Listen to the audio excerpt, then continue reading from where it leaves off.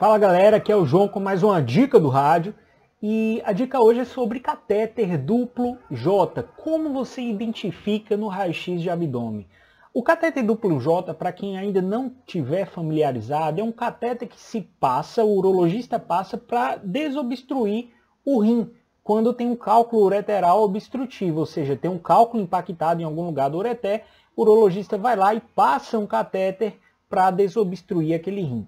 Para você encontrar o catéter, você pode diretamente visualizar a estrutura do catéter, mas o ideal é que você consiga imaginar a sombra da bexiga, a sombra do rim e ver onde é que está a coisa toda. Então, olha aqui nessa outra imagem. A sombra da bexiga, que é essa área mais densa, a sombra do rim direito, que está aqui em vermelho para vocês, e agora vai ficar bem mais fácil de enxergar o catéter duplo J. Então compara as duas imagens e dá uma aprimorada no olho para você começar a enxergar melhor a sombra renal de um lado, a sombra da bexiga e o catéter duplo J. É isso aí, valeu e até a próxima.